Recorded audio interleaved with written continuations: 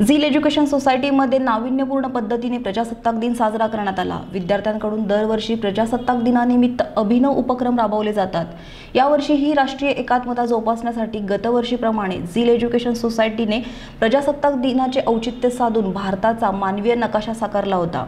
या उपक्रमाच्या धर्तीवर ह्यावर्षी देखील झीलमध्ये अनोखा उपक्रम साकारण्यात आला आहे तरुण हा भारताचा बलस्थान आहे आणि जाती धर्मात विभागलेल्या भारताला या उपक्रमाने एकतेची जाणीव करून देण्यासाठीचा हा प्रामाणिक प्रयत्न आहे. पारंपरिक सणाबरोबरच राष्ट्रीय सण एकात्मतेची आणि देशप्रेमाची व निधर्मवादाची भावना जोपासण्याचा झीलचा एक उपक्रम आहे. सदर उपक्रमांतर्गत चार हजारहून अधिक विद्यार्थी सहभागी झाले होते व प्रजासत्ताक दिनाच्या औचित्यानं तिरंगा झेंडा तसेच राजमाता जिजाऊ छत्रपती शिवाजी महाराज आणि नरवीर तानाजी मालुसरे यांच्या प्रतिकृती या ठिकाणी साकारली. या उपक्रमाची दखल गोल्डन बुक ऑफ रेकॉर्डने घेतलाय. मी प्राध्यापक ऋषिकेश काकंडीकर झील एज्युकेशन सोसायटीचा प्राध्यापक आहे.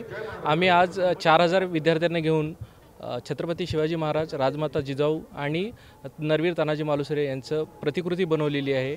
या प्रतिकृतीसाठी मागच्या पंधरा दिवसापासून आम्ही काम करत होतो आणि याची नोंद आत्ताच वर्ल्ड बुक्स ऑफ रेकॉर्डमध्ये झालेली आहे. तिरंगा पण साकारलं? हो तिरंगा पण आम्ही साकारलेला आहे. याचा पण एक नवीन विश्वक्रम केलेला आहे. मागच्या वर्षी पण आम्ही तिरंगा साकारलेला होता तीन हजार पाचशे विद्यार्थी घेऊन. तर यावर्षी आम्ही चार हजार विद्यार्थ्यांना घेऊन हा उपक्रम हे तिसरं वर्ष?